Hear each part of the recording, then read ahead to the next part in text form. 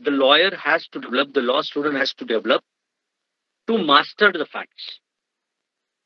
या तारखेला काय झालं या तारखेला काय झालं या तारखेला काय झालं जनरल इम्पॅक्ट काय what are the general your impact and assessment on this factual aspect once that is properly understood and grasped by the lawyer then only he can apply the law to that particular facts so the basis of a good advocacy is mastering of facts it may be a trial court it may be a high court it may be a Supreme Court. Before touching to the subject, I will just, as a last point, make an appeal to all my young brothers and sisters that on YouTube, you can go to one lecture. That is a lecture delivered in a Bombay Bar Association by a senior counsel, Janak Dwarkadas. You just go to the YouTube and lecture by Janak Dwarkadas. In that lecture, you will find that Janak Dwarkadas sir was a very senior and a very uh, celebrity advocate. You can say that he at least have a appearance in uh, all courts and huge appearances uh, appearances are and he is well respected. He was a junior to uh, another uh, celebrity lawyer of the country, Fali Nariman sir. he has given an ex- example that how Fali Nariman sir was making a study of a law. And he says that he used to give first hearing to his client, first hearing to your client, then looking to his documents, making a list of the facts. Then, third, he will make a cross examination of his own client and explaining him that negative things of your matter must come out because they will be brought by another party. So you must bring that to my notice or i will bring um, i will brought it out by cross examination this was his third attempt.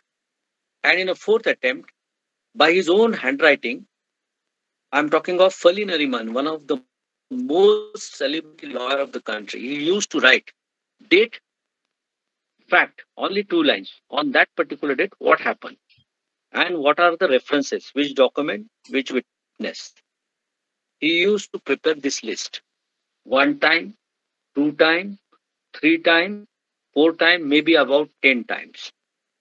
So as a junior janak dwarkadas sir says that sometimes i used to feel that is he a foolish fellow is this old man is a foolish fellow and is this old man is mad making that list for 10 times, wasting a time. And whenever Fali Nariman sir was, was arguing in a court, whether it is High Court or Supreme Court, he used to only argue on a law.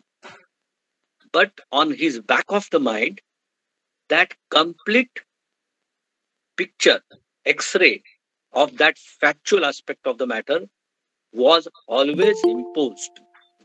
And by that four corners of the facts, he always used to argue a law. He was a constitutional lawyer.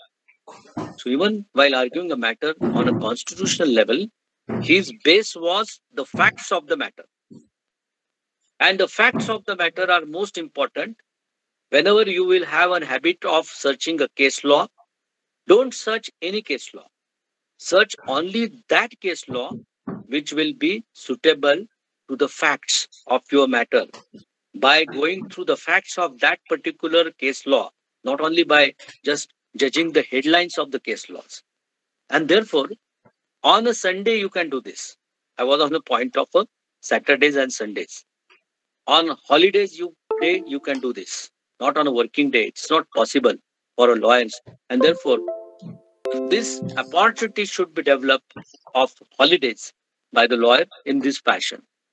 Now, coming to the topic of a Hindu Succession Act, my first question to Satbhai sir was whether the law students of a first year can understand this because it's, it's something a succession law. This the, I was told that this is a subject to the first year student, and therefore, we have to go through it.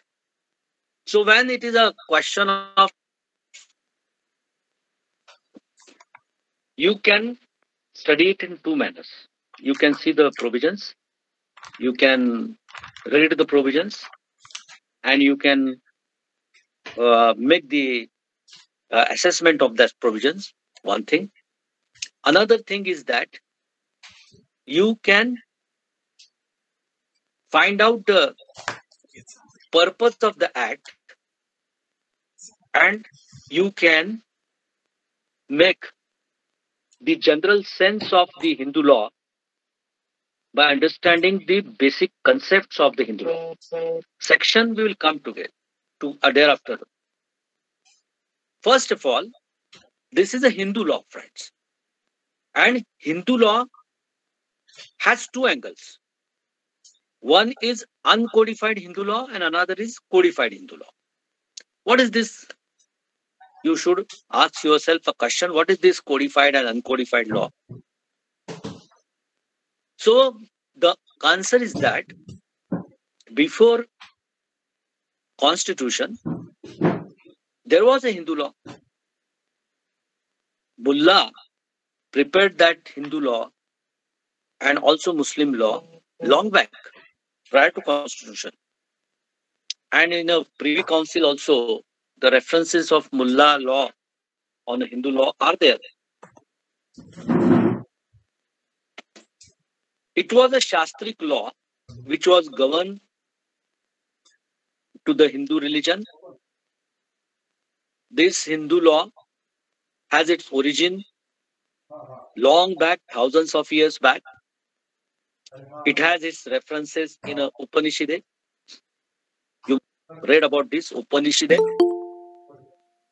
It may have some reference in a Gita, Gita Rahasya, which we call as a, a basic document of the Hindu religion.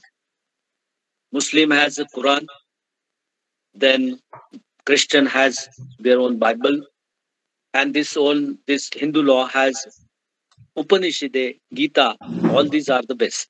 Here, the basic concepts of the Hindu law has been given.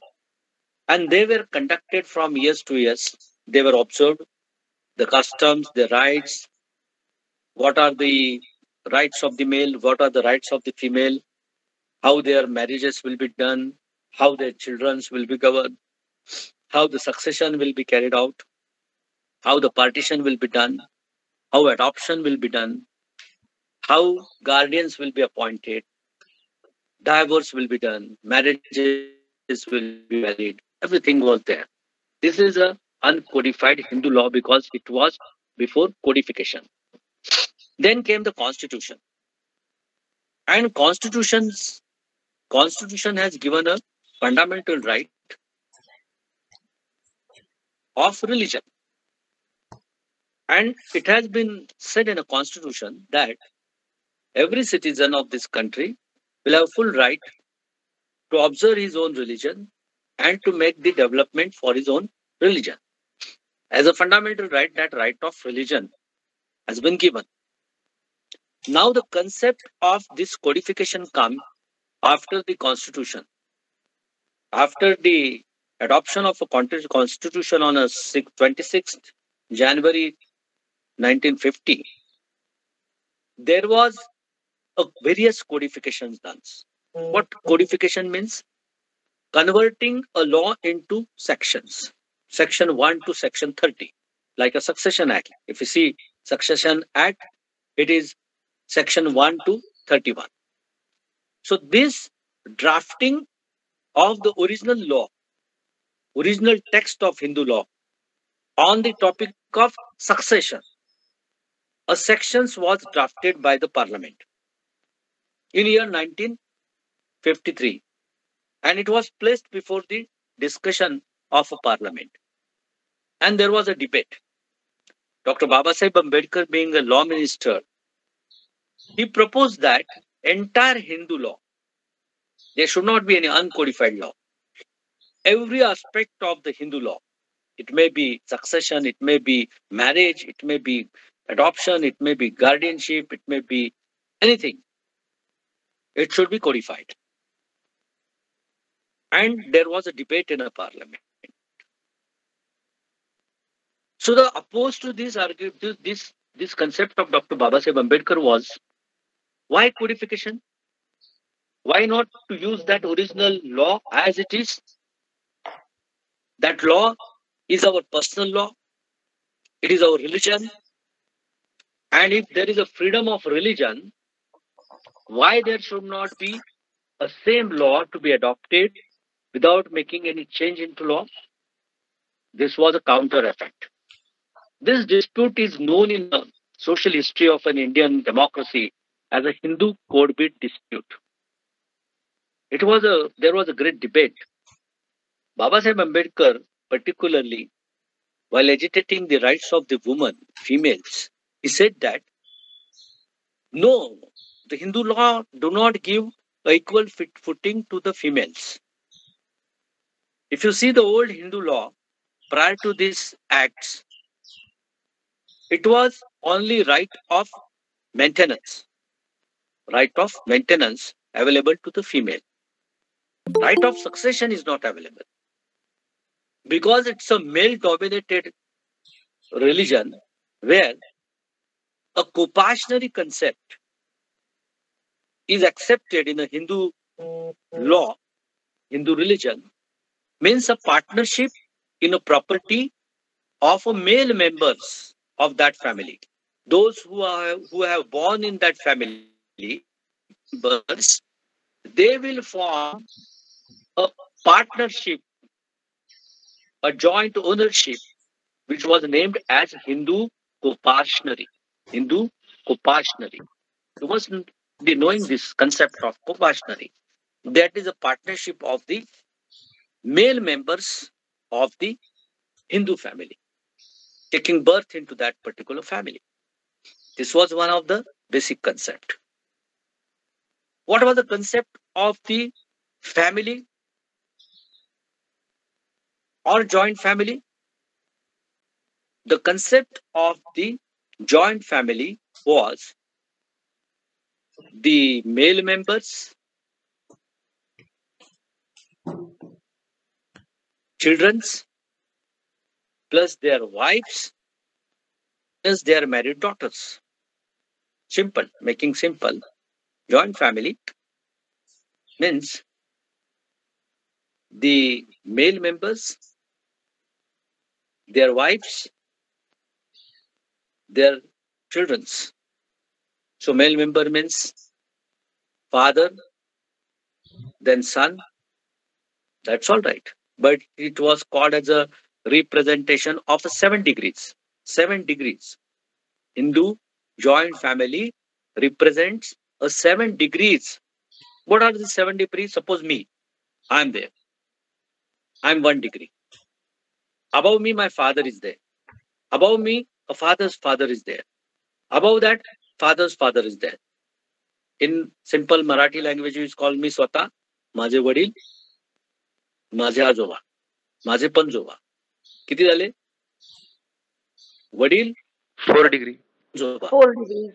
Three and about three okay three आणि मी and about three below three मी माझा मुलगा माझा नातू माझा Pantu okay so मी माझ्यावर तीन generations माझ्या खाली तीन generations this is the seven degree representation of Hindus which is recognized in the Shastric law, old uncodified Hindu law. It is recognized there.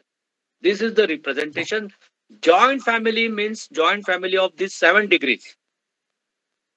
पंजोबांनी जे कमवलेले आहे ते माझ्या पंतु करता, माझ्या मुलाच्या मुलाचा मुलगा जॉईंट आहे. This is a joint connection of the properties joint family in this family was the concept of property is a coparcenary all male members are partners females are not there females are out When it becomes a coparcenary joint family, I told you, seven degrees. Three above and three below. This is a joint family. When it, it becomes a coparcenary, the day the property will be attached to this family, it becomes a co-partner of a seven degrees. Property is to be attached to the joint family. So joint family plus property equal to co-partner of male members.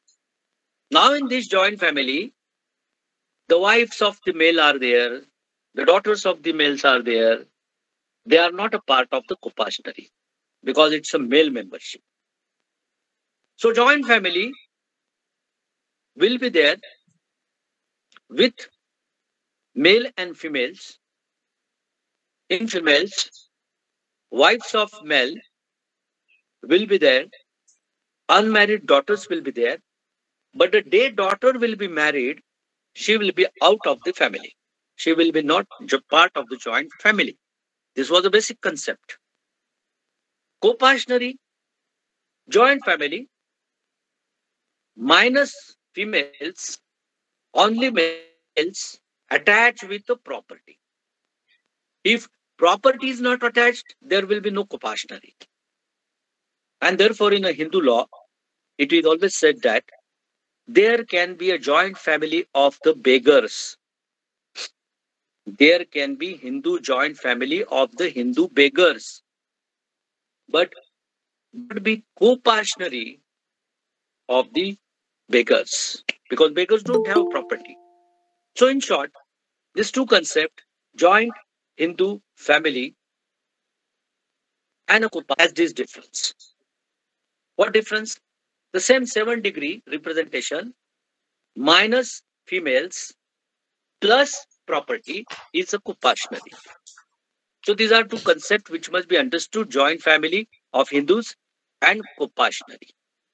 Then what was the principle of succession. Because today we are going to discuss the law on succession. The principle of succession was, underline this word, survivorship. It was not a principle of legal heirship. You can understand the principle of a survivorship. I was understanding many years what is this survivorship because I have not seen the dictionary meaning. Whenever the question of interpretation will come before you, my dear brothers and sisters, please go to the dictionary. The first rule of interpretation of law is that whatever interpretation of that word is to be done, it is to be done on the basis of the dictionary meaning of that particular word. So survivorship was the principle. What is this survivorship? Simple, I will give an example. These are the five male members of the family. One dies. Four survives. His share will be devolved will be devolved into these four methods because they survive. This is a principle of survivorship. He dies, his share is to be devolved into this one, two, three, four. This is the principle of survivorship. Whoever survives, whoever in bracket male survives, the share of the deceased person will be transferred. Because succession means what? Somebody dies, and he is to be succeeded now. That is succession. Again, the literal, literal meaning of the word succession. Somebody dies and another has to succeed him now. For his all light, rights, liability, assets, whatever things are there. That is said to be the survivorship of a succession in respect of the succession. So we have discussed joint Hindu family we have discussed the co-partner. We have discussed the seven degree of representation. We have discussed survivorship. We have discussed succession. For understanding the succession law, the law student should understand all these things. That there was a codified law and now it is uh, uncodified law and that there is a codification of the law then this entire things was argued by Dr. Baba Sahib Ambedkar, and say, he said that this is a discrimination. Male takes a birth in a family, female takes a birth in a family, father and mothers are same, property is same, nobody controls, or it is not in the hands of anybody whether to take a birth as a male or as a female. Plus, Constitution says in a fundamental right that no discrimination on the ground of the sex. Then why this discriminatory law should be accepted of a Hindu law, where female are totally deprived of their rights on an equal footing to the male? They should given equal rights. That was an argument of the Dr. Baba Sahib Ambedkar for making a Hindu code bill. And it was voted. It was not a parliament of today's time, friends.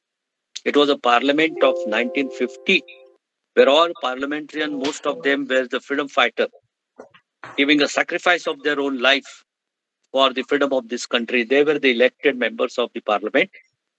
They were sitting there, they were discussing this law where Dr. Baba Sahib Ambedkar was talking about something which was should, should be said to be a development of the law, development of the religion that bring now equal footing to the male and female. And on that, when voting, 478 parliamentarian was sitting in a house. It was voted. Eight voted in favor of Dr. Baba Sahib Ambedkar.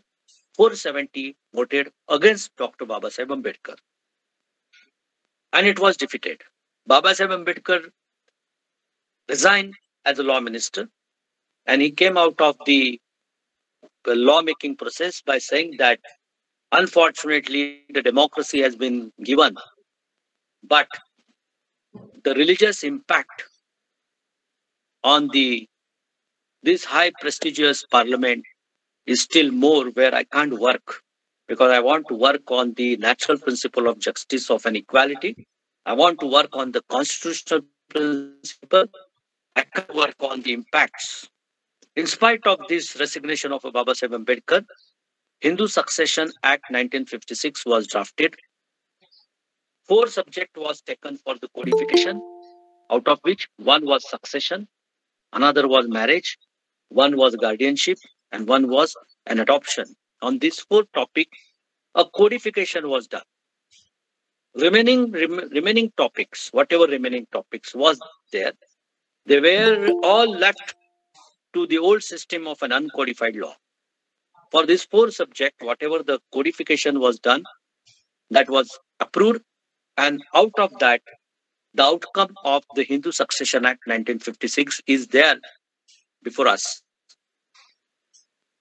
This 1956 section, the Act, 1956 Act, you can see had 31 sections. Just give, let us give a bird eye view to these sections.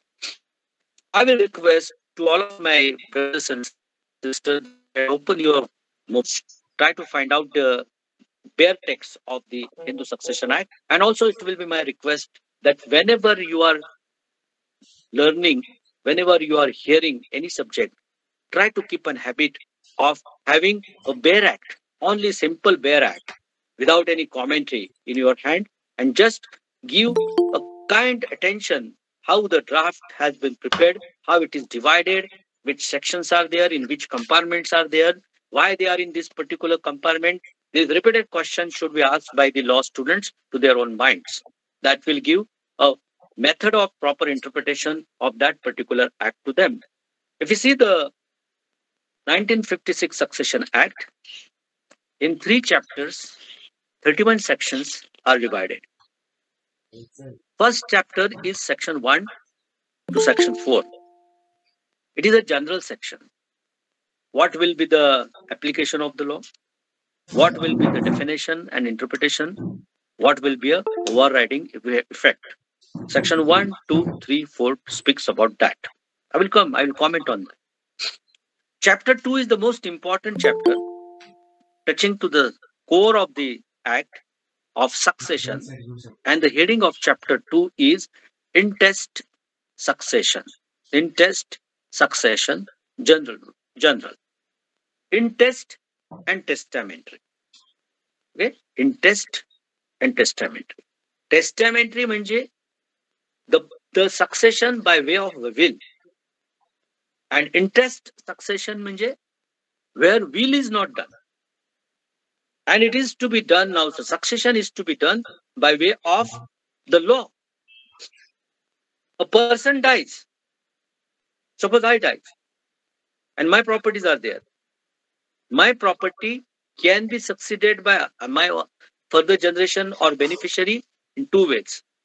I will prepare my own will and i will say that as per this will, you my further assets will be transferred. That is one way which is called as a testamentary succession. An intestate succession intestate succession means i dies but i am not making a will. So law will take the care. The religion to which i uh, belong. I belong to hindu religion hindu succession. If i belong to muslim religion muslim succession. If i belong to christian christian religion. This will be controlled by that personal laws. And therefore the succession how it is to be operated to an intestate succession of a male and female is given from section 5 to section 29 if i'm not wrong. 29 then chapter 3 talks about the testamentary succession. Section 5 to 29 talks about the intestate succession. Section 30 talks about the testamentary succession. And accordingly this particular act is designed. So let's let us first comment on the first part of the uh, first part that is chapter 1 to whom it applies? It applies to hindus. What is the definition of a hindu that has been given in a definition itself? That that definition is important because it does not only relates to hindu. It also relates to some other religions other than hindu who are working who are functioning in in this territory of india as a hindu. And therefore the definition of the uh, application of the act before that application of the act is that this act applies hindu succession act applies to any person who is hindu by religion. In any form in any, its any form. The, or its development including veerashaiva lingayat or followers of the brahmo prarthana or arya samaj. So hindu religion has given a different shape it is a mitakshara law. It is a dayabhaga law which is which are two segments of the hindu. Apart from that there are arya samaji there are brahmo samajis there are lingayats there are Vai- vaira vaishnavas they treat them as an independent religion itself now. It's a different segment. But still it is hindu culture and therefore the act has covered all of them. This is first part of the different forms of a hindu. Then you can go to the b clause of section 2b where any person who is buddhist navabuddha buddha jain sikh by religion. Now sikh is a different religion but it is controlled by the hindu succession act. So buddhists sikhs jains they are controlled then c says the general clause to any other person who is not a muslim christian parsi or jew by religion unless it is proved that any such person would have been governed by hindu law or by custom or usage as a part of that law in respect of the matters dealt with herein in this act and has not been passed. See this aspect of the Hindu law also. a person a person who is not a Muslim, Christian, Parsi, or Jew. A person who is not Muslim, Christian, Parsi, or Jew by religion, unless it is proved that any such a person would not have been governed would not have been governed by Hindu law or by custom or usage or a part of that law in respect of this matter. But at this stage, I will not take into the details of this aspect. You just keep in your mind that it applies to the Hindus, its various forms. It applies to Buddhists. It applies to Jain. It applies to Sikhs. It applies to all other persons who are not Muslim, Christian, Parsi, Jew. It's all right. Then the explanation is there. The following persons are Hindus, Buddhists, Jains, or Sikhs by religion, as the case may be. Any child legitimate or illegitimate, both whose parents are Hindus, Buddhists, Jain. Any illegitimate child of the parents of Hindus. Then child legitimate or illegitimate of one or of whose parent is Hindu, Buddhist, and who is brought up as a member of tribe, community, group, family, as it belongs. One of the husband and wife, one of them is Hindu, and as per that particular religion, the children are brought up. Here I will give an example of the leaders of this country. Indira Gandhi has made an affidavit because she was a Hindu. Her uh, husband was Parsi. And she has given uh, undertaking for confirming a caste of her children's late Rajiv Gandhi and late Sanjay Gandhi that they will they are Hindus because she being a Hindu, she brought up her child with this religion culture and therefore they are Hindus and they are they are treated as a Hindu. They are under law they are Hindus. Then any person who is who is to convert or reconvert to Hindu, Buddhist, Jain or Sikh religion. So conversion is permissible. That conversion you must be knowing. Many our film stars they had converted their religion when they want to marry second times. So apart from joke the conversion the converted person in a hinduism is also will be controlled. Now the important aspect. What about the tribals of this country tribals adivasi in Nasik district, one third population is Adivasi, and you are practicing in now, when you start as a practicing of an advocate and when the case of a tribal will come for a partition of his family, which law will you will govern to them? Here, subclause 2 of section 2 says that notwithstanding anything contained in subsection 1, nothing contained in this act shall apply to the members of scheduled tribe within the meaning of clause 25 of article 366 of the constitution unless the central government by notification in official gazette otherwise directs. The Adivasis are not controlled by the Hindu Succession Act. And as an advocate, then you will have to find out the solution.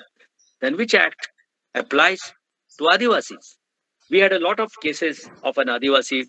I had an opportunity to argue on this all cases.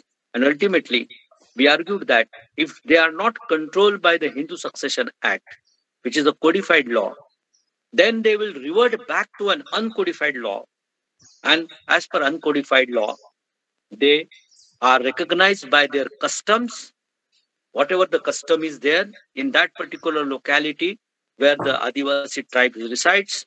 And therefore, custom is to be pleaded in a litigation. You have to plead it and you have to prove it because it's a question of factual aspect of the uh, uh, that particular community. So custom and rights ultimately governs the succession of the Adivasi person. So you have to understand this different aspect of section 2, subclause 2, which many times many lawyers after putting 20 years, 30 years, forget to understand.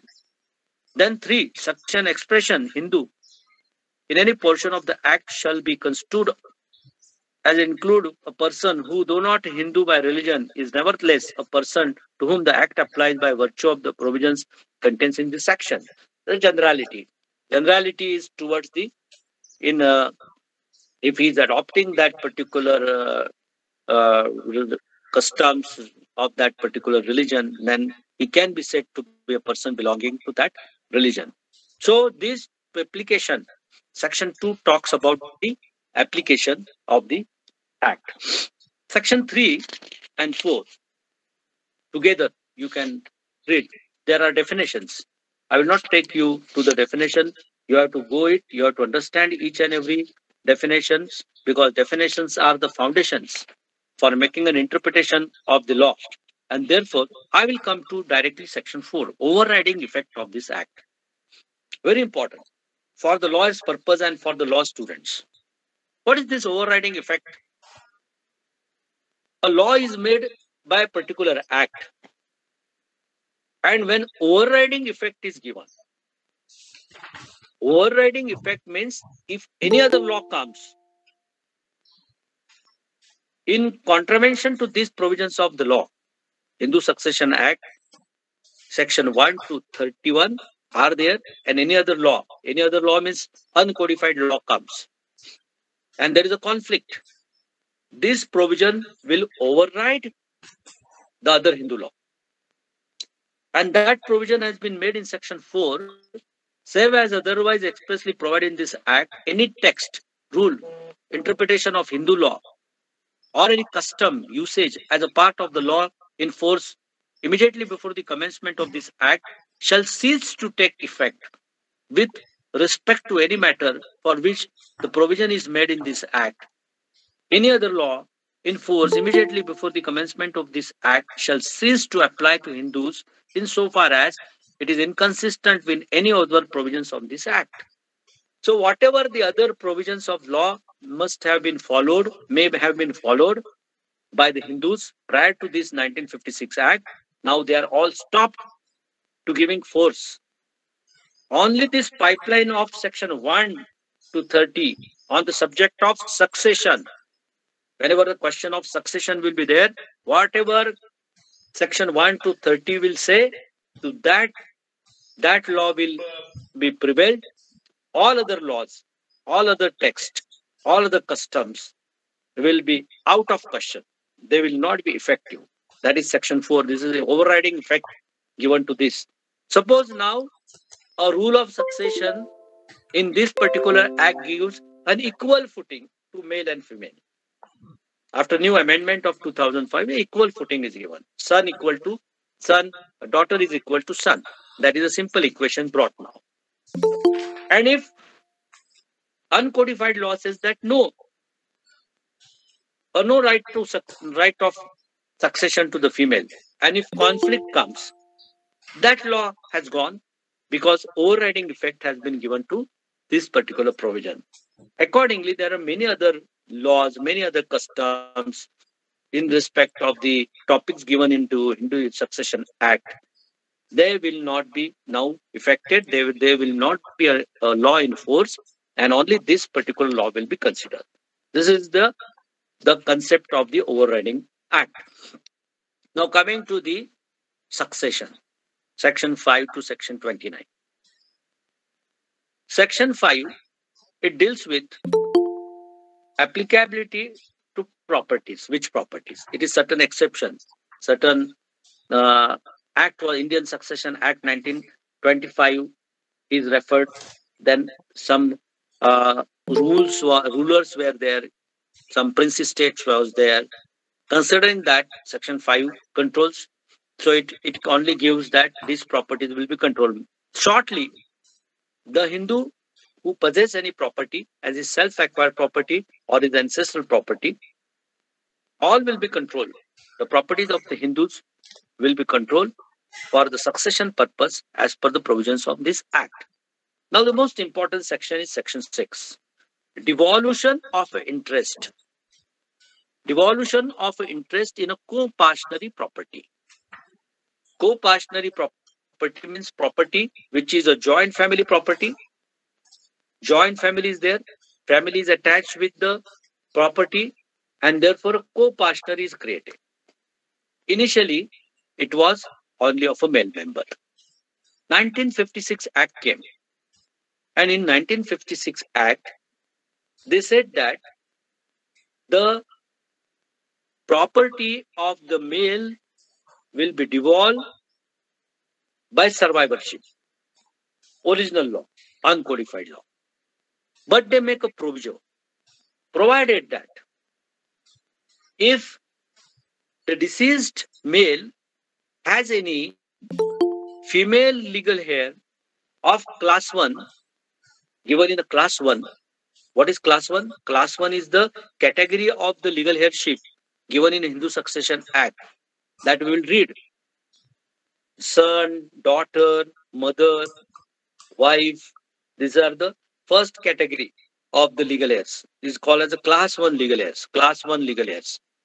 If that deceased male member has a female legal heir in class 1, then it will not be by survivorship, but it will be by succession, as if the partition is occurred prior to his death, and accordingly, his share, share of the male member is divided into his all legal heirs. That was original section 6. Now it is amended in 2005. I will give a simple example to understand this. And I will I'll give in a Marathi. एक माणूस आहे. त्याला वडिलोपार्जित मिळकत मिळालेली आहे. त्याच्या वाडवडिलांकडनं त्याला दोन मुलं आहेत. त्याला दोन मुली आहेत. त्याला एक बायको आहे.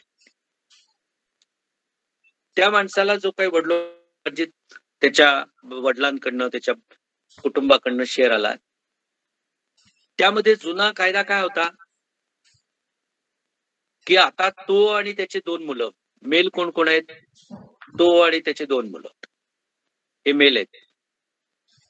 यांची कुपाशनरी तयार ऑल राईट कुपाशनरी झाली. म्हणजे ते इक्वल पार्टनर झाले. म्हणजे आता हे जे पार्टनर झाले हे पार्टनर्स किती झाले? One third one third one third जुन्या हिंदू लॉ मध्ये अनकोडिफाईड हिंदू लॉ मध्ये असं होतं जेव्हा हे तिघ जण आपसात वाटप करायला जातील या मिळकतीचं one third one third one third आपसात वाटप करायला जातील त्यावेळेस जो मूळ पुरुष आहे त्याची बायको आणि या दोघांची आई हिला पण त्याच्यात शेअर द्यावा लागेल. पण केव्हा तो राईट तिला केव्हा मिळेल? ज्या वेळेस ते तिघ वाटप करायला जातील. जोपर्यंत वाटप मागत नाही तो पण तिला काय राईट नाही. ती कोर्टात जाऊन दावा नाही करू शकत. मला माझा हिस्सा द्या. कारण तो त्यांनी ते म्हणजे आम्ही वाटपच केलेलं नाही अजून. हा जे मुलं आहेत ते मुलं वडिलांच्या विरुद्ध मेजर झाल्यानंतर वाटप मागू शकतात. कारण ते कुपाशनर आहेत. जुन्या हिंदू लॉ प्रमाणे. So it is basic concept of old Hindu law that in this property now, one fourth will be to original person, original male, one fourth to his one son, one fourth to his one son, one fourth to his wife.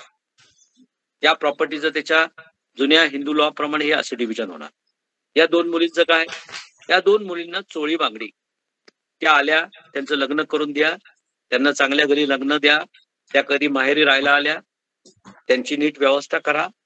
त्यांची काय असेल ते देखभाल करा. त्यांचा दिवाळ सण करा.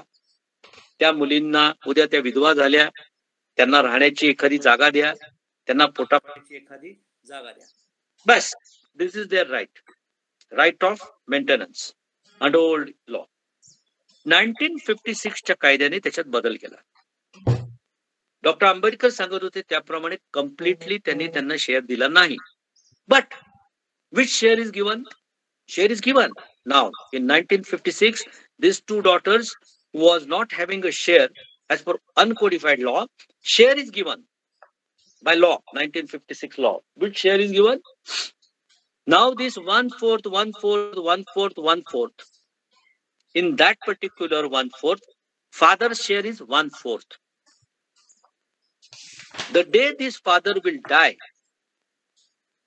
section 6 of 1956 says that it should be treated that one day prior to his death, partition was done. And in this partition, in one fourth share of father,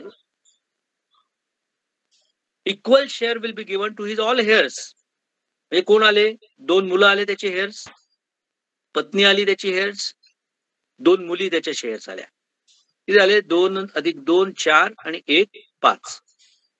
One fourth of the father will be divided into five legal heirs okay this was called as all partition under the old section 5 6 of hindu succession act 1956 now because now old i am talking because it is changed in 2005 prior to that it was like this. One fourth divided by 5 means 120th in this case daughter will get 128 one daughter. Another daughter will get 128 one son will get his one original one fourth plus 128th from father. Another cell will get one fourth plus 128th from father. The, the, the widow will get one fourth plus 128th from father. And daughter will get 128, 128, a negligible share. A negligible share of 128, 8 by vis. And therefore, the daughter's name does not appear on 712 extract on Bhogwata Dar Sadri, occupant column. It appears on other right column. Small rights, they are recorded into other rights of the 712 extract. So they were recorded there.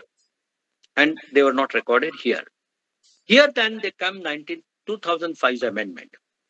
Now 2005 amendment, which was effected on a 9-7-2005, changed this law. And this says that now son equal to daughter. And therefore, this particular aspect was covered.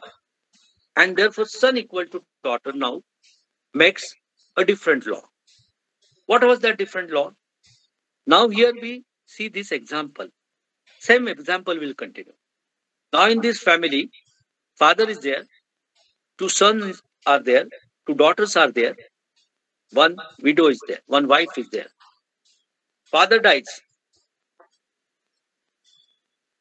There are now two sons, two daughters, and one widow. It will be simply one fifth equal share. 2 plus 2 plus 1, 5 shares. Initially it was 128. Now it is one fifth. Now you can understand what is the difference of 1 fifth and 128 percentage wise if you can calculate you can calculate. It's a very negligible share 120th whereas one fifth is now a substantial share. So in this amended section 6 the topic remains same the devolution of interest in a coparcenary property. And there now you can read the current section. It's a big section. It will take time. Only the main aspects i will say that. On and from the commencement of this act, now the Hindu governed by Mitakshara law, the daughter of the coparcener shall by birth become a coparcener in her own right in the same manner as of son. Be, she becomes a coparcener as of right as a son.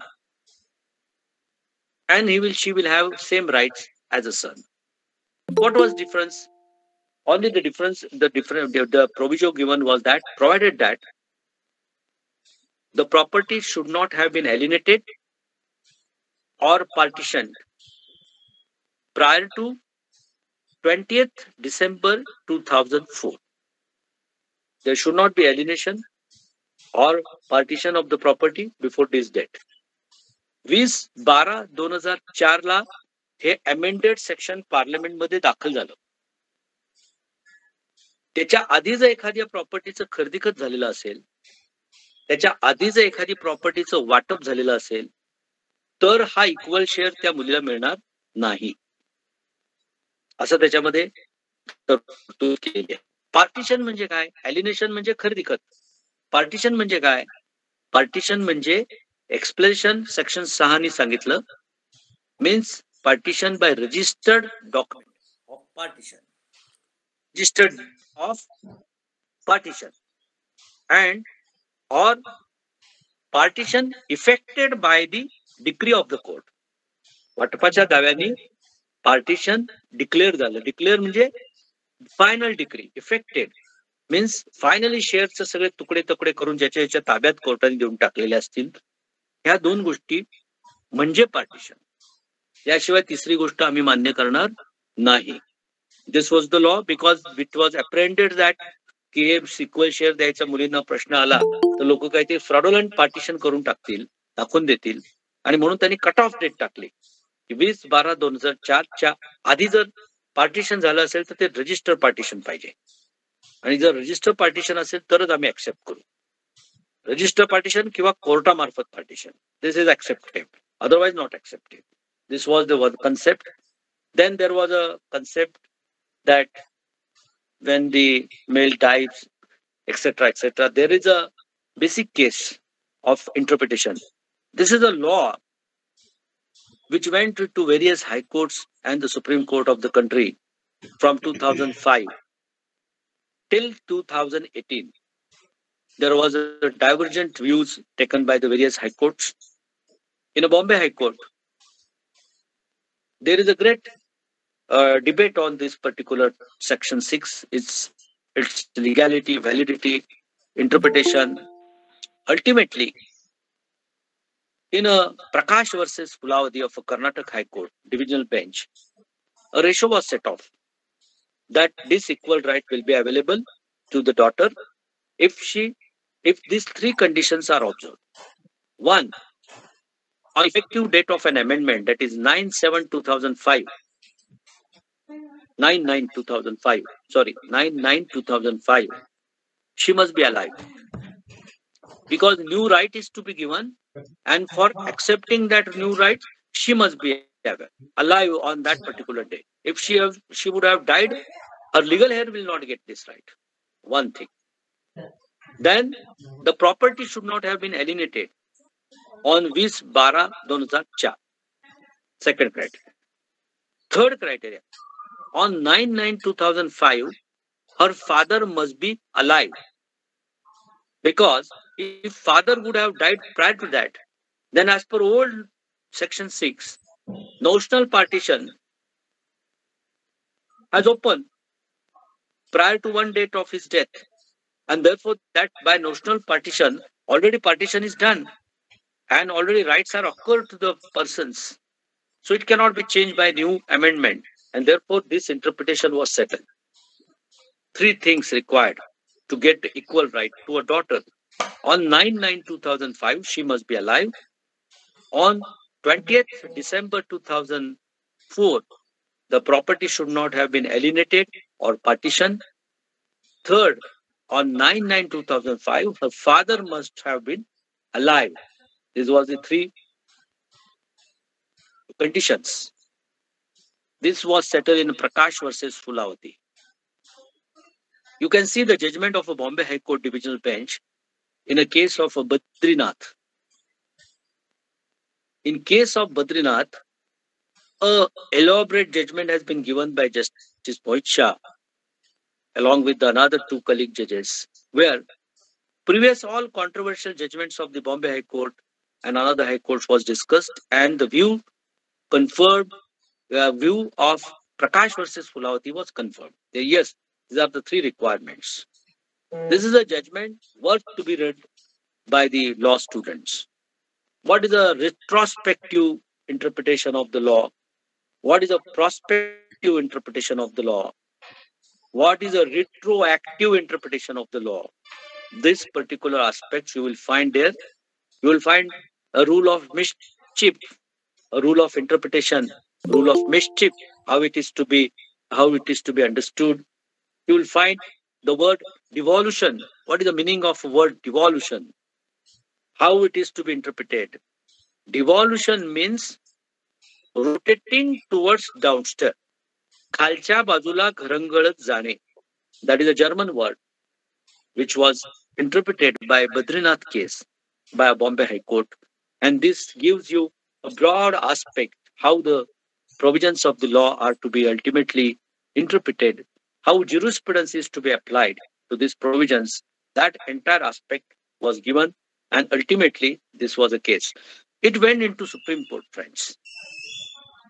And recently in 2018, again the amendment section 6 has been finally interpreted. The case of Prakash versus Phulavati has been partially accepted and partially not accepted. And a new law has been set by the Supreme Court, whereby the last condition that on 9 9 2005, father must be alive for getting equal right for the daughter has been abolished, has been taken away by the Supreme Court. So only two, two now condition remains. One remains on 9 9 2005, the daughter must be alive. On 20 12 2004, the property should not have been alienated or it should not have been partitioned. Only these two conditions, if there it is fulfilled, then it's all right. You get a equal right. This is one aspect. Another aspect there, prior to this amendment of 9-9-2005, there was a state amendment of Maharashtra state to section 29C when Sri Sharad Pawar was the chief minister of the Maharashtra. And there he made a state amendment. That state amendment was, and another cutoff date was given, 22 Saha 22nd June 1994. On this date, the daughter in a Hindu family who is not married will get an equal right as of son. That is a state amendment that is only applicable to the Maharashtra state. But that amendment is also there. Therefore, whenever client will come to the advocate, when you, you will become an advocate, you should have an instruction. Yes, you want an equal share? You are a daughter. Okay, you are alive on 9-9-2005. When your marriage is done, whether it is before बावीस सहा चौरण्णव और after बावीस सहा चौरण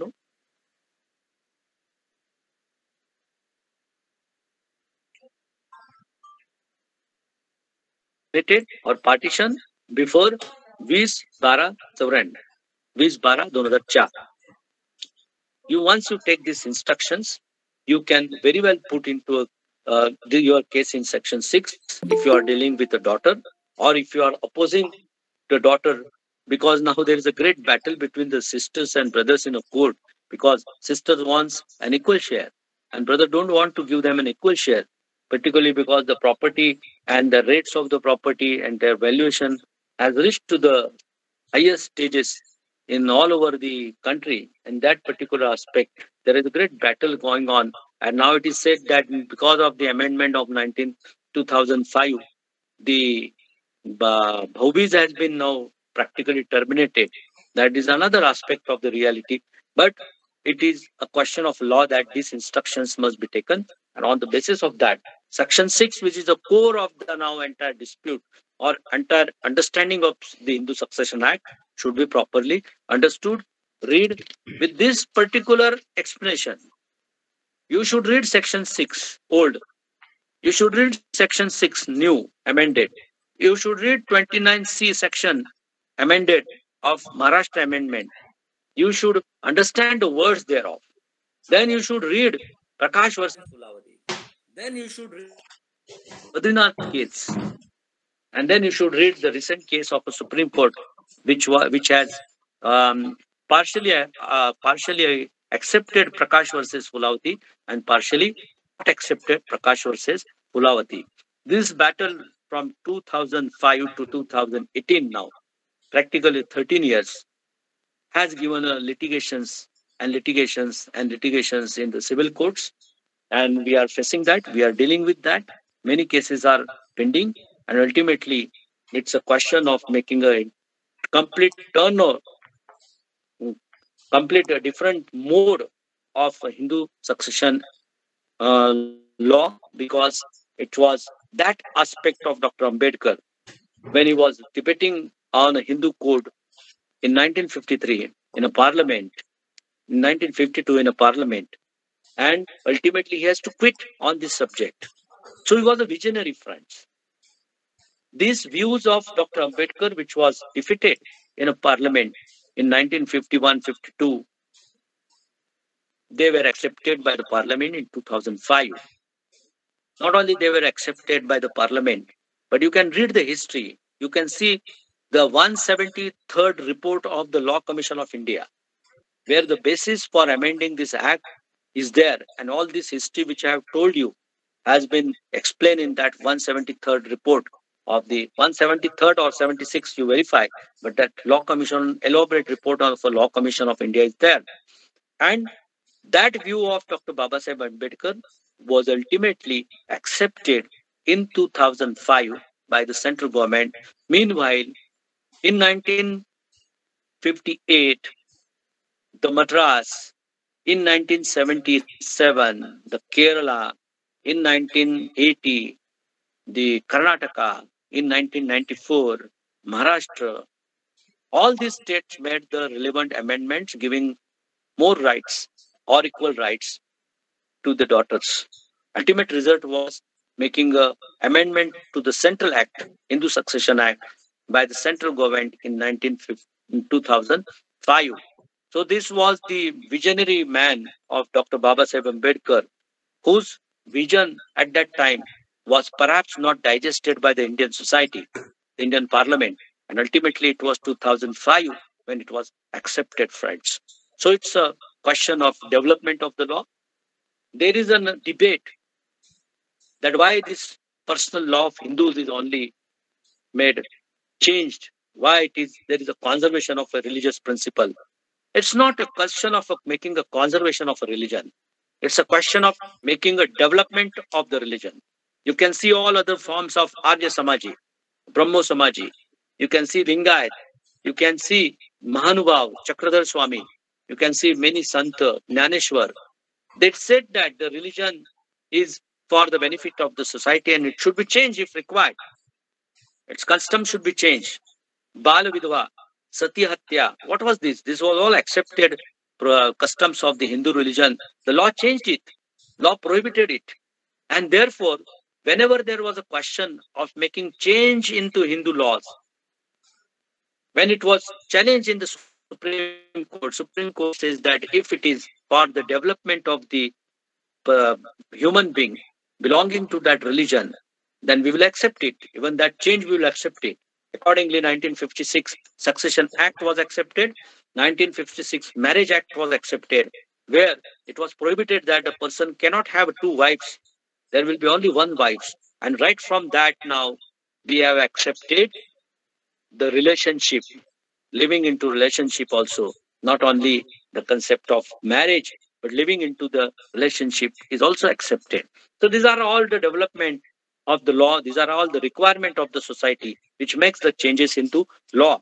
So amendment in a law has a require has an element of a requirement of the society, and it is not a wish of mere parliamentarians or legislative members. It's a question of the need of the society, friends. So this is section six.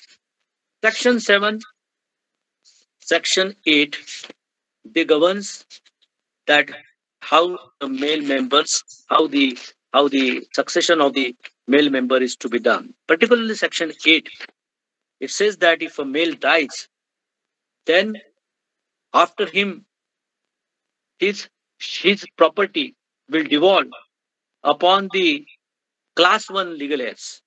Class 1 legal heirs. Who are class 1 legal heirs?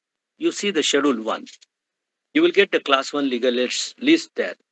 The class 1 legal heirs are those who are son, daughter, mother, and widow. These are the four category of a class 1 legal heirs. Now this change, this change of law has given a different meaning which was previously in unqualified law, the representation of seven degrees. Now, in representation of seven degrees, father was there, father's father was there, father's father, father was there,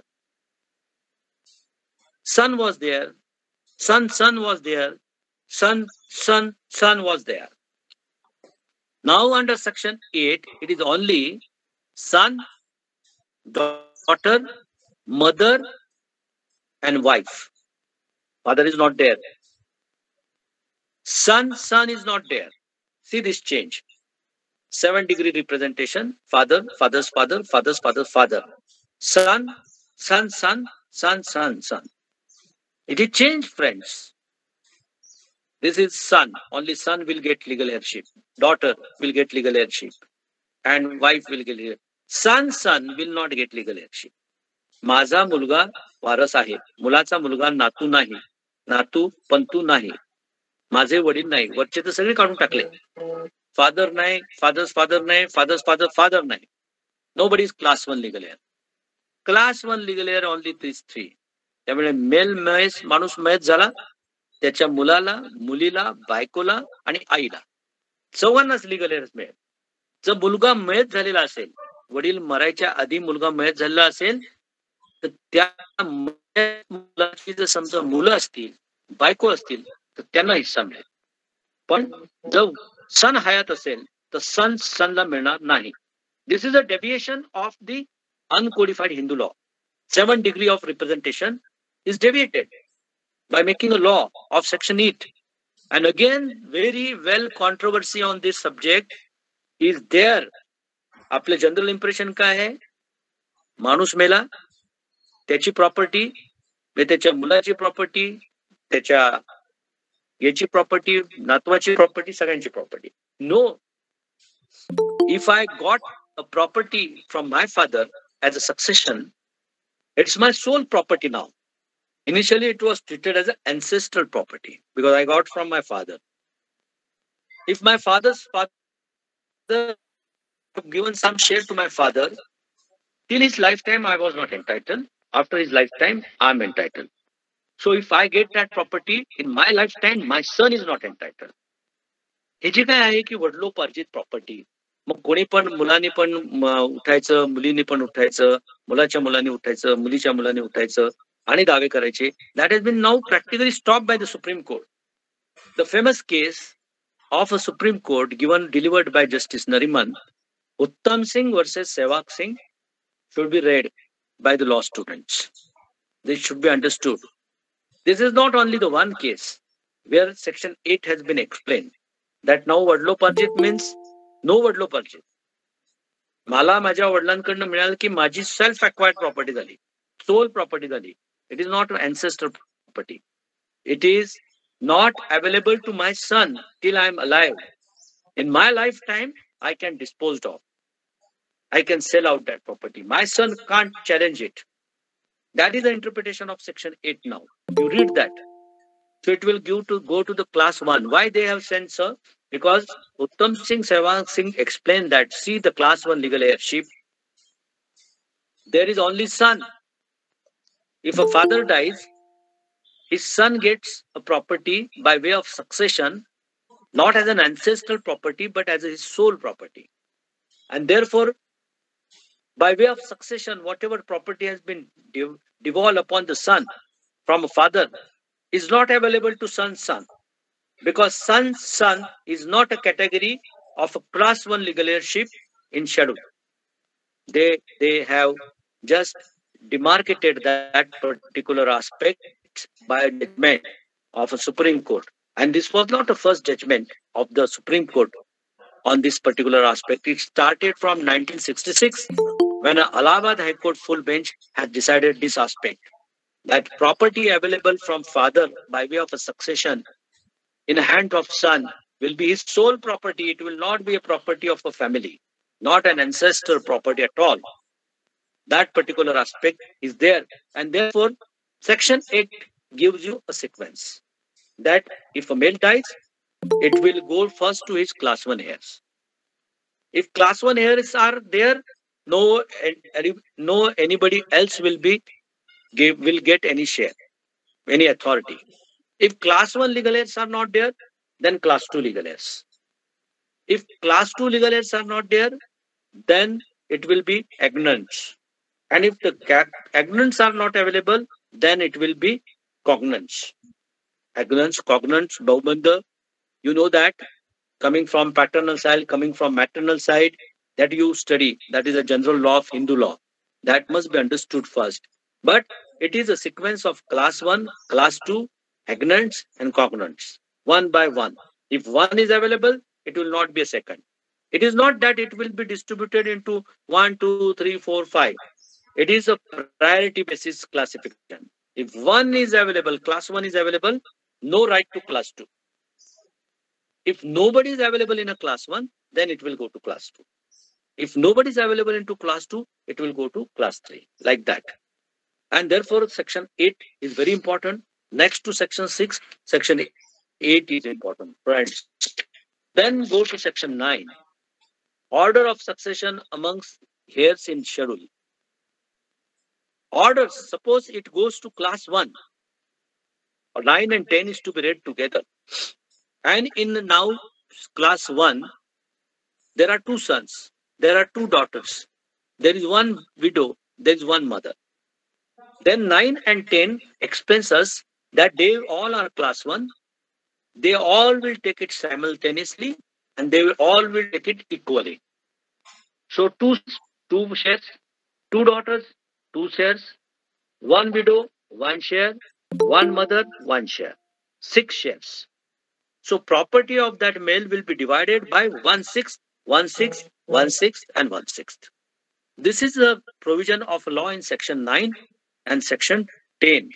This says it gives us the rules of priority. Distribution of the property of against heirs in class 1 of the schedule. That is given. And then thereafter, another all um, distributions will be there. In 11, distribution of class 2 will be there. Class 2, there is a category. There is a there is a list. Class 2 list. 1, 2, 3, 4, 5. माणूस मेला त्याला मुलगा मुलगी नाहीये त्याला भाऊ आहे त्याला बहीण आहे. ओके भाऊ बहिणांमध्ये जाईल. फादर फादर आहेत फादरकडे जाईल. ह्या लिस्ट दिलेल्या आहेत. One two three four five six these are the list of class two ते नंबर वन जर अवेलेबल असेल तर नंबर टू कडे शिकणार. नाही क्लास टू मधलं पुन्हा वर्गीकरण distribution So it will be as per sequence. I'll just, for example, explain this aspect because many times this creates a confusion. In a schedule, uh, schedule of the property, schedule one of the act, class two is one father, two sons, daughters, son, sons, daughters, son. Then two is sons, daughter, daughter. Then three is brother. Then four is sister. Likewise, if a father is there, it will not go to sons, daughters, son. Okay, sons, daughters, son is there. It will not go to sons, daughters, daughter. Like that. These, uh, these are the categories. These are the categories. One father, then these brothers, sisters, then daughter's son, then brother's son, then father's, father's, father's, mother's, father's widow, etc., etc. So whatever the categories are there, one if one category is there, it will go to that. If into two category four persons are there, it will go to that four persons, but it will not go to third category.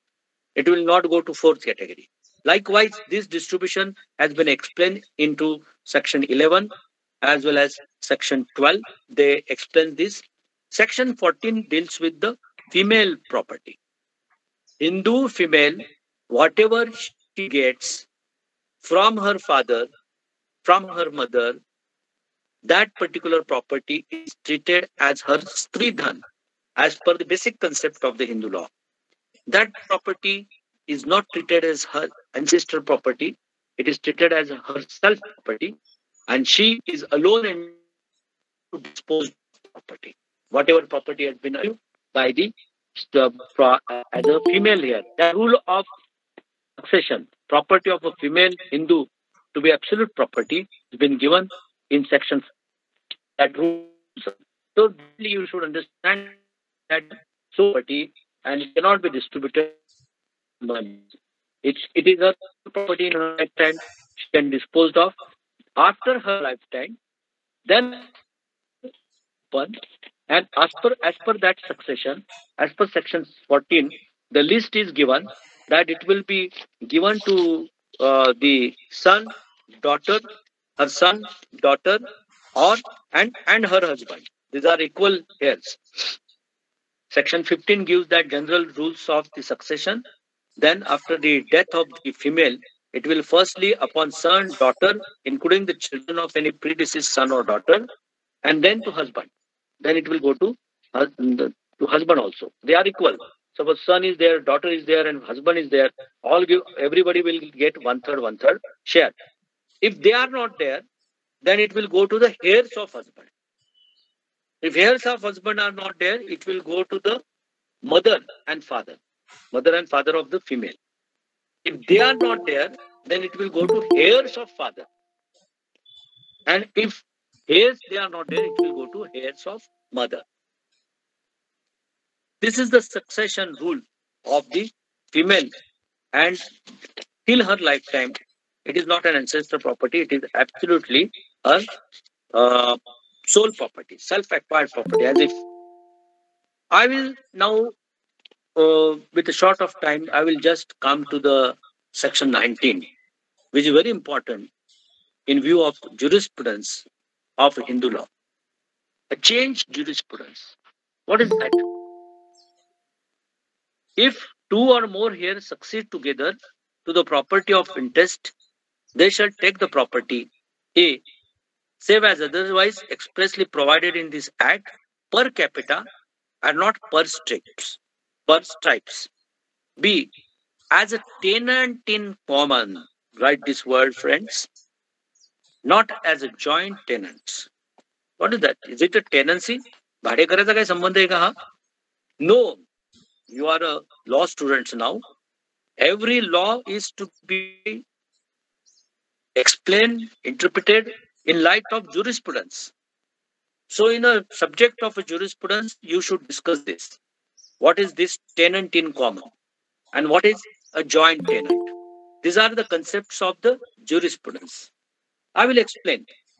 This is five persons. We have understood a. This dies, who survives, his share will be evolved into this food. This was a survivorship. Same concept is of a joint tenancy. Tenant in common and joint tenant are concept of ownership. Jurisprudence concept of ownership. How you owns this property. This is the concept. Here, joint tenant, five are jointly, five co-partners are jointly. Initially, uncodified law recognized them as a joint tenant and therefore, in a joint tenancy, if one person dies, it becomes ownership of these four persons. A mobile has been purchased. Mobile has been purchased by five persons, a movable property, and one of them dies. That mobile becomes ownership of these four persons because it is a joint tenancy. It is a joint ownership. Tenant in common is a different concept. Tenant in common means if he dies, it will not dissolve to these four persons, but it will go to their legal heirs, his legal heirs. This is tenant in common. This was not original concept of the Hindu law. This has been introduced in section 19 by Hindu Succession Act 1956, a completely divergent aspect of jurisprudence and ownership concept, making deviation from survivorship. Survivorship was based on the joint tenant concept of jurisprudence. If he dies, it will go to these four persons. And now, if he dies, it will not go to these four persons, it will go to his legal heirs. This is the tenant in common, friends. That has been incorporated in section 19. Secondly, per capita and per strike. If a father dies, he has two sons. One son has four children. Another son has two children. So, four plus father, son, five persons. And here, one son and one children, two persons. So the complication will come. Whether it should be divided into 5 plus 2 into 7, making the share 1 7 to each. No. 19 subsection A says that it should be per capita. Two sons are there per capita, per head. This per head. It will go to this one share and this head one share. Son. It will not be to the stripes of that sons. And therefore it will not be one seven. One son will get one half. That one half will be divided into his four sons. This son will get one half. It one half will be divided with his one son. This will be a concept. This is a concept of per capita and per stripes. This is also clarification of law. Therefore, this section 19 is important. Section 22 is important. Section 22 gives you a preferential right. It is something like a preemptive right. There is a right of preemption recognized previously. It was also recognized in Hindus. It is still recognized into Muslims, Muslim law. Preemption means if a property joint is not divided and one of the undivided sharer wants to transfer that property, proposes to transfer that property, then preemption was an absolute right to the another corner to say that you should sell to me only and not to third party. That is right of preemption. Now it is taken away. This is preference, a comparatively weak right. Suppose he proposes to our joint owners, he proposes to sell, he can sell that I am ready to purchase. Whatever price you are getting, I am ready to pay it. That price must be as per the buyer, as per the buyer. If if he is ready to say purchase as per the real price of give offered by buyer,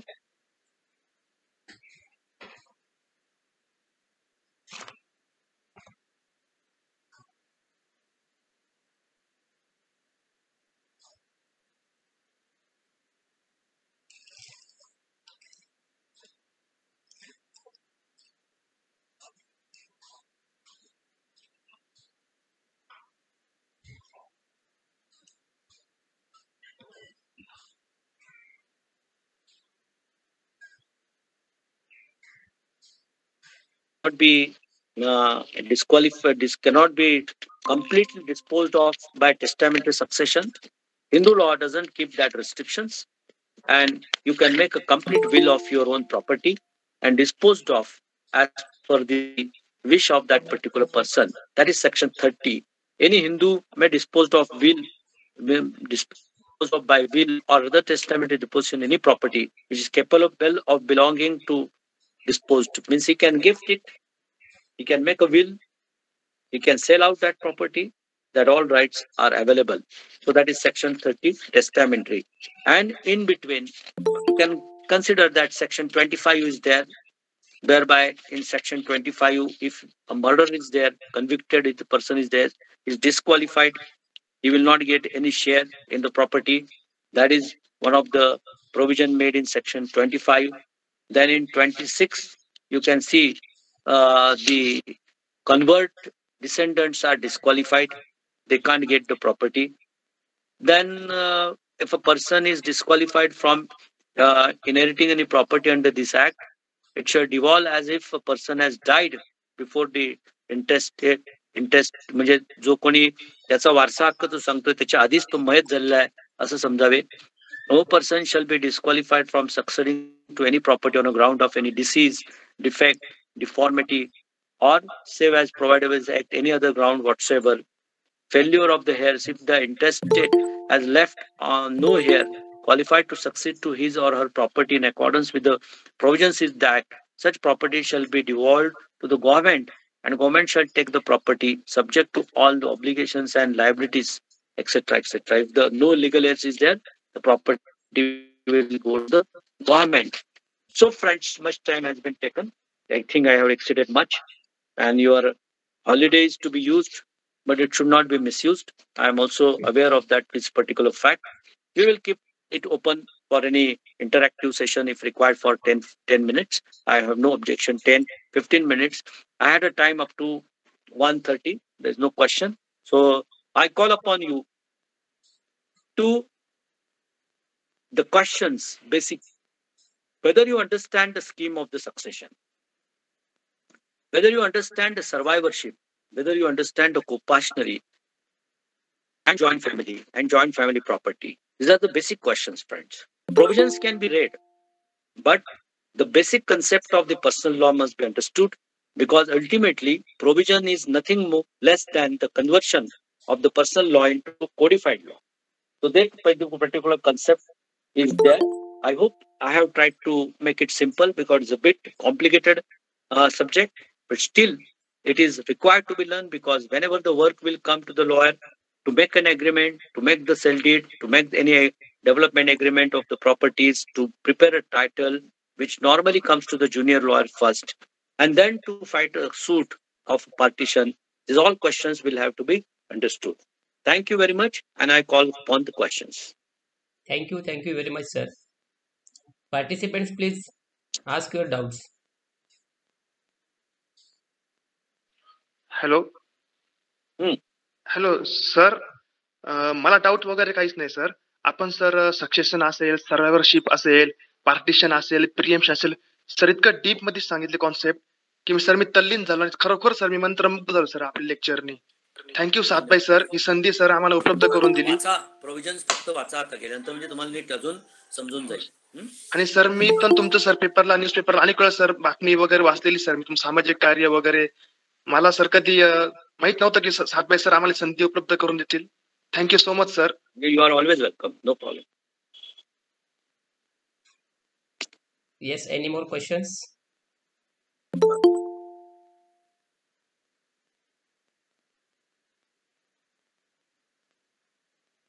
Rucha, over to you. Thank you, Jayant Advai sir, for this amazing lecture. Now I request Mansi to give vote of thanks. Mansi, over to Uh, you. yes, yes. Thank you, Rucha. Uh, I would like To thank Mr. Sandip Satbhai sir, the assistant professor and coordinator of the program, uh, for giving me this opportunity to propose vote of thanks on this auspicious occasion. I, Manasi Ahire, student of first year LLB, on behalf of NBT Law College, Nasik, would like to extend hearty thanks to Advocate Jayant Jaibhave sir for sparing his valuable time from his busiest schedule to grace the occasion. Today, we had an opportunity to hear your thoughts on the history of Hindu law, the thoughts and opinions of Dr. Ambedkar, the concept of codified and uncodified Hindu law, concept of co-parcenary, that is, joint family plus property is equal to co-parcenary, uh, earlier status of female and the change in the concept of their co-parcenary, survivorship concept, and taken bird's eye view of the Hindu Succession Act. Sir, uh, it is surely addition to our knowledge, and I assure on behalf of the participants that uh, we will keep bare text while studying law subject or listening law lectures in future. Thank you all those who have supported directly and indirectly. Once again, thank you to all. I would like to express my sincere thanks to Sir Dr. M. S. Gosavi Sir, Director General and Secretary, Gokhale Education Society, Nasik, Dr. Dipti Deshpande Ma'am, Director HR Gokhale Education Society, Nasik, and our in charge principal, Sir, Dr. Sanjay Mandavkar, Sir, for their encouragement and support. And also thanks to all the participants and those who have helped for the successful execution of, the, of this program. As due to Corona lockdown, we get less chance to visit college and courts, but these activities are really helpful to all uh, students to improve practical knowledge. We are lucky that our college organizes various activities for us and are for all, all over development. Once again, thank you to all. Thank you, Jaibhave sir, once again. Thank you all Thank you. participants Thank for you. patiently hearing the session. With the permission of uh, in charge principal Dr. Mandavkar sir, I declare that this session is over.